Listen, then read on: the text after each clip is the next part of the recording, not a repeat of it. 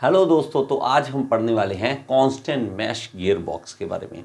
देखिए, हमने पिछली वीडियो में सब पढ़ा था, वो था हमारे पास स्लाइडिंग मैश गियर बॉक्स जिसकी वीडियो मैंने आपको ऊपर लिंक दे रहा हूँ अभी। अगर आपने नई वीडियो देखी तो वो पहले देख लो। तो हमारे पास क्या है, उसमें दो शाफ्ट थी, ठीक है? यहाँ पे दो शाफ्ट, एक यहाँ पे शाफ्ट थी। तो वो जो शाफ्ट थी, उनके अकॉर्डिंगली हमने गियर्स लगाए थे। यहाँ पे इंजन शाफ्ट और ड्राइव शाफ्ट एक तीसरी जो शाफ्ट लगती है, वो यहाँ पे लगती है, जो कि इसको सपोर्ट देगी और इस शाफ्ट का नाम होगा काउंटर शाफ्ट और इसके ऊपर हम गियर्स लगाते थे। और यहाँ से गियर ये पावर इसको देगा और आगे पावर मिलेगी, यहाँ पे भी हम गियर लगाएँगे। थोड़ा जल्दी से देखेंगे और यहाँ पे ये गियर लगाते हैं। ठीक है? इसकी प्रॉब्लम क्या थी? ये देखो। ये एक्चुअली क्या है? हमने जब भी गियर लगाना था तो ये गियर लगता था हमारे पास, ये स्लाइड करके। स्लाइड करके ही लगा सकते थे। अब इसकी एक प्रॉब्लम थी। इसकी प्रॉब्लम क्या थी कि जब भी हमें गियर लगाना है इसका गियर बदलना है तो हमें क्या करना पड़ता है? इसको इधर उधर मूव करते हैं, जिसके कारण क्या होता है? बहुत ज़्यादा फ्रिक्शन और वो गियर टूटने का खतरा रहता था कि इधर उधर मूव करते अब चलती चीज़ के अंदर हाथ डालोगे तो हाथ भी तो कटेगा ना। दूसरा गियर एक गियर चल रहा है, दूसरे को उसके अंदर फिट करना आसान तो है नहीं, चलते हुए गियर के। तो वहाँ ये दिक्कत बहुत ज़्यादा आ रही थी। इस दिक्कत को हमने दूर किया। कांस्टेंट मैश गियर बॉक्स में हमने इस दिक्कत को दूर किया। तो हम उसके बारे में अब पढ़ेंगे कि कांस्टेंट मैश गियर बॉक्स किस तरह से काम करता है। हमारे पास ये जो मॉडल है, ये क्या है? हमारे पास कांस्टेंट मैश गियर बॉक्स इसमें हमने एक आइडिया लगाया। वही सारा सेम उसी की तरह ही है कि ये हमारे पास देखिए शाफ्ट है जो कि इंजन से आ रही है। ये हमारी ड्राइव शाफ्ट है और ये हमारी काउंटर शाफ्ट है, जिस जैसे हमने उसमें किया था। अभी ये गियर भी वही है, इसके साथ कांटेक्ट में है, ठीक है? लेकिन इन्होंने एक आइडिया लगाया। क्या? कि हर जगह पे गियर जो है, ये इसके साथ टच में, ये इसके साथ टच में, ये इसके साथ टच में तो सारे एक दूसरे के टच में लगातार रहेंगे। वो अलग अलग नहीं होंगे कि हमने इधर कर दिया, उधर कर दिया, ऐसा नहीं होगा, ठीक है? अब और क्या आइडिया और आइडिया ये है कि ये देखो, ये गियर तो आ गया, जो मैंने पहले भी समझाया था, ये गियर इसको घुमाएगा ये काउंटर शाफ्ट भी लगातार घूमती रहेगी। अब ये, अब आप कहोगे कि गियर कौन सा लगेगा, कौन सा लगेगा, कैसे पता चले? अब देखो, ये जो गियर है ना ऊपर वाले, ये ये क्या है? ये गियर है हमारे पास free to move free to move का मतलब क्या है? हमारे पास ये फ्रीली मूव करते रहेंगे। अगर हम कहें ना कि मैंने पिछले एग्जांपल दी, जैसे हाथ में कड़ा पहना हो, चूड़ी पहननी हो तो वो आप मूव करोगे तो आम तो नहीं रोटेट होती ना? इस तरह फ्रीली मूव कर रहा है। अभी ये जो है कि क्या करेगा? ये इसको घुमाएगा, ये इसको घुमाएगा, ये सारे घूमेंगे, लेकिन पावर नहीं जाएगी आगे। पावर नहीं जाएगी आगे। किस, इस तरह से हम समझते हैं कि हमारे पास ये सारा ऑपरेशन होगा और इसमें एक स्पेशल है, क्या है? डॉग क्लच अब पहले एक क्लच की बात करें। ये पहले उन्होंने क्लच प्लेट दिखा दी। ये क्लच प्लेट हम यहाँ पे गियर बॉक्स के साथ लगाते हैं। अब क्लच प्लेट का फंक्शनिंग मैं आपको अलग से समझा दूँगा। ठीक है? तो अभी क्या है? अभी हमारे पास पावर जो आ रही है, यहाँ से आ रही है और यहाँ जा रही है, ये देखिए, सारे गियर चल रहे हैं, सारे गियर चल रहे हैं, लेकिन मेन चीज़ क्या है? ये शाफ्ट नहीं चल रही। ये बाहर, ये तीनों गियर देखो, सारे घूम रहे हैं, लेकिन ये शाफ्ट तो घूम ही नहीं, जो हमने घुमानी है, अभी ये कौन सा है? ये है न्यूट्रल गियर ये न्यूट्रल गियर है। न्यूट्रल गियर में हमें आगे पावर नहीं मिल रही। हम न्यूट्रल गियर में गाड़ी खड़ी कर दी इंजन चलता रहे चलता रहे, हमें कोई दिक्कत नहीं होती। ठीक है? क्यों? पावर ही नहीं जा रही आगे। अभी पावर नहीं जा रही तो ये सारे देखो घूम रहे लेकिन ये नहीं घूम रहा। बात समझ आ गई? इस तरह से हम न्यूट्रल गियर को लगाते हैं, जब भी हम लगा। अब इसमें स्पेशल अरेंजमेंट आ गई। स्पेशल अरेंजमेंट क्या आ गई? ये है। इसका, इसको बनाया गया स्पेशली क्या करने के लिए कि अब गियर लगेगा कौन सा? ठीक है? आप बात समझें? अभी गियर लगेगा कौन सा? वो कौन डिसाइड करे? वो ये डिसाइड करेगा। इसका नाम है डॉग क्लच। डॉग क्या? कुत्तों की तरह। कुत्ता है ना? कुत्ता ऐसे पकड़ लेता है। एक बार पकड़ ले छोड़ता नहीं है। ऐसे ऐसे कुत्ते भी होते हैं। तो ये कुत्ता जो है ना, ये कुत्ता इस, पकड़ लेगा इसको। जिस गियर को पकड़ना है, हमने जैसा मूव करेंगे, वैसा ये कुत्ता उसको पकड़ लेगा। डॉग क्लच उसको पकड़ लेगा। जब उसको पकड़ेगा, तब वो वाला गियर शाफ्ट के साथ एंगेज हो जाएगा। क्यों? क्योंकि इसने एंगेज करवा दिया। था नहीं। शाफ्ट के ऊपर आराम से घूम रहा था इसने कुत्ते ने पकड़ लिया। अब शाफ्ट घूमेगी साथ। बात समझ रहे हो? ये डॉग क्लच जो है, इसका काम है। अभी मान लो कि आपने गियर डालना है, आपने पहला गियर डालना है। तो पहले गियर में मैंने पहले भी बताया था किस तरह से था? कि हमें टॉर्क ज़्यादा चाहिए। टॉर्क ज़्यादा चाहिए तो हमें क्या करना पड़ेगा? इंजन वाली पावर, इंजन जो आ रही है, वो छोटा गियर, और जो हमने व्हील को देना है, वो बड़ा गियर। उससे क्या होगा? टॉर्क बढ़ेगी, स्पीड कम हो जाएगी। स्पीड कम और टॉर्क ज़्यादा। तो अभी ये देखो, इसकी जैसे स्पीड कम हुई, क्योंकि क्लच दबाया, अब ये पकड़ लिया, इस कुत्ते ने पकड़ लिया। पकड़ लिया, अब ये गियर किसके साथ एंगेज हो गया? अब शाफ्ट के साथ एंगेज हो गया। अब ये शाफ्ट के साथ एंगेज होने का मतलब अब अगर चलाएँगे तो ये शाफ्ट भी घूमेगी।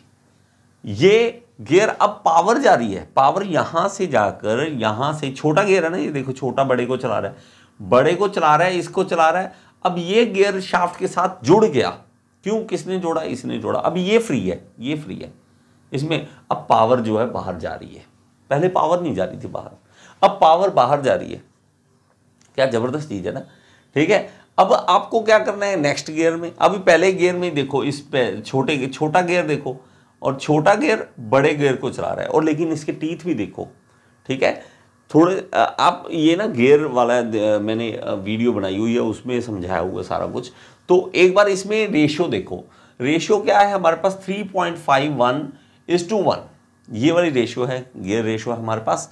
मतलब हमारे पास क्या है कि इसके कारण टॉर्क बढ़ेगा। टॉर्क कितना बढ़ेगा? 100 न्यूटन मीटर अगर टॉर्क देंगे तो साढ़े तीन सौ न्यूटन मीटर हमें टॉर्क मिल जाएगा। 3.5 गुना टॉर्क मिलेगा। अगर 3.5 गुना टॉर्क बढ़ेगा तो स्पीड कम हो जाएगी। कितनी हो जाएगी? 3.5 गुना कम हो जाएगी।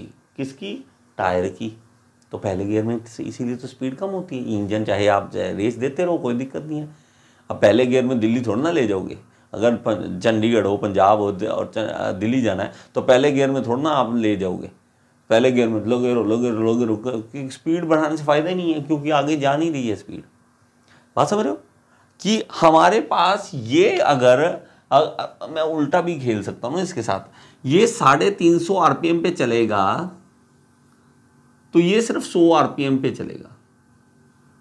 ये सौ आरपीएम पे चलेगा। और टॉर्क उल्टा। हम यहाँ से 100 न्यूटन मीटर की टॉर्क देंगे तो टॉर्क बढ़ जाएगी, यहाँ साढ़े तीन सौ न्यूटन मीटर की टॉर्क मिल जाएगी। बात समझ रहे हो? ये खेल है, बस गेयरिंग का। गेयर कौन सा, कहाँ पे लगाना है? ठीक है, छोटे से, बड़े को चला दिया। अब हम करना चाहते हैं दूसरा गेयर तो इस कुत्ते ने इसको पकड़ लिया। लेकिन यो, ये समझाया देखो किस तरह से। ये गेयर का साइज़ देखो, अब गेयर ये बड़ा हो गया। ये बड़ा था, ये छोटा हो गया। तो हमने करना क्या है? हमने चेंज किया है, हमारे पास गियर के साइज़ चेंज किए हैं। तो पहले में क्या है हमारे पास? छोटे से बड़े गियर को चलाना है। समझ रहे हो? छोटे से बड़े। अब बड़ा हो गया थोड़ा सा गियर और ये छोटा हो गया। अब इसी तरह अगर स्पीड और ज़्यादा बढ़ानी है, ये गियर और बड़ा कर दो, इसको और छोटा कर दो। तो स्पीड बढ़ती जाएगी। तो स्पीड बढ़ानी है टॉर्क कम करनी है। तो ये इसने इसको पकड़ लिया। अब जो हमारे पास जारी है पावर वो यहाँ से यहाँ से जारी है। और इसमें हमारे पास जो रेशियो है टू पॉइंट वन एट और इज़ टू वन ये इसके रेशियो है। अगर यहाँ हंड्रेड न्यूटन मीटर का टॉर्क होगा, अगर यहाँ पर two point one eight is to one ठीक है? अगर यहाँ पे 100 न्यूटन मीटर का टॉर्क होगा तो यहाँ पे ये बढ़ जाएगा 218 न्यूटन अब पहले कितना मिल रहा था? पहले में पहले में साढ़े तीन सौ। अब कितना मिल रहा है? 218 ठीक है तो कम हो गया। लेकिन स्पीड बढ़ गई। इसकी स्पीड वैसे वैसे चेंज हो रही है। अब इसने क्या कर दिया? फिर न्यूट्रल में डाल के अब तीसरे गियर में डाल दिया। तीसरे गियर में यहाँ से जा रही पावर। अब देखो, इसका साइज़ देखो। इसका साइज़ बड़ा हो गया, इसका छोटा हो गया। तो मेरे पास one point four two is to one ठीक है? अगर ज़्यादा ना सम तो टू इज़ टू वन ऐसे समझ लिया करो ये one point four exact value दे दी इन्होंने तो। तो हमारे पास अब अब और ज़्यादा स्पीड इंक्रीज करनी है तो डायरेक्ट कॉन्टैक्ट में बना दो। मैं यहाँ पे दिखाता हूँ आपको। तो जब नेक्स्ट में है तो ये क्या करेगा डॉकरच इसको पकड़ लेगा देखो। बड़ा अच्छा लगता है। ये, ये इसको पकड़ना है ना इसने क्या करना है इसको पकड़ लेना क्यों? डायरेक्ट कांटेक्ट बना देगा उसको। कचक इसको पकड़ लिया। एक बार जब जकड़ लिया ना तो अब देख पावर डायरेक्ट जानी वन इज़ टू वन अब 100 न्यूटन मीटर यहाँ 100 न्यूटन मीटर वहाँ। टॉर्क नहीं, हम स्पीड बढ़ा रहे हैं अब। जितनी स्पीड इसकी, उतनी स्पीड उसकी। 600 आरपीएम 600 आरपीएम, काम खत्म। ठीक है? बात को समझो कि किस तरह से है तो हमारे पास उतना ही टॉर्क और ये स्पीड का है। लेकिन इसमें एक ही बात बहुत इंपॉर्टेंट कि कड़ कड़ कड़, खड़ खड़ खड़ ये आवाज़ें नहीं आएँगी। ख़राब नहीं होंगे, गियर टूटेंगे नहीं। पहले ये जो हमारे पास मैंने पहले कराया था आपको स्लाइडिंग मैश गियर बॉक्स तो वो अब तो नहीं है ये वाले gear box sliding mesh gear box तो क्योंकि यही प्रॉब्लम थी कि आप चलते हुए गियर में पूरी स्पीड पे चलते हो, दूसरे को फंसाना आसान नहीं है, वो टूट दे, टूट जाएगा, ठीक है? तो इम्पॉसिबल सा होता था। तो लेकिन स्टार्टिंग में हमें पता था क्या करें अभी नॉलेज नहीं थी धीरे धीरे नॉलेज आई तो चेंजेस बहुत ज़्यादा चेंजेस हो चुके हैं। तो अभी हमारे पास देखो तो ये गियर की आपको कंडीशन दिखा देगा कि किस तरह आप गियर लगाते हो और कौन सा गियर कब होगा, ठीक है? तो आप जब पहला गियर दूसरा गियर चेंज करते हो तो यहाँ जो है डॉग क्लच एक्चुअल में चेंज करता है। तो सारा कुछ गियर जो है, ये बॉक्स का, वो डॉग क्लच पे डिपेंड करता है। तो डॉग क्लच आपको समझ आ गया, सारा कुछ समझ आ गया। तो देखो, आप जो काम करते हो ना एक्चुअली डॉग क्लच को चेंज करने का काम। आई होप कि ये वीडियो आपको अच्छी लगी होगी। इसी तरह की वीडियोस और देखनी है तो आखिर में थंबनेल दे दूँगा, वहाँ पे आप क्लिक करें ऑटोमोबाइल सारी वीडियोस आपके सामने आ जाएगी। Thank you thank you so much